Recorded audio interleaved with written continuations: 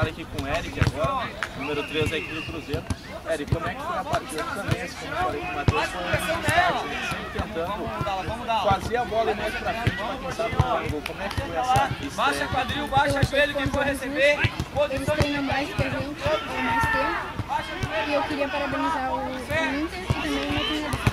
Fernando, O que que acha que faltou daqui a pouco? Mais cruzamento, talvez, até pela gramação que é? Acho que a gente nunca treinou com velocidade e também por causa que a gente joga mais tempo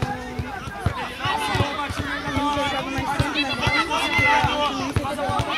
Conta aí o Eric falando um pouco sobre essa estreia do Cruzeiro. Acelera, acelera.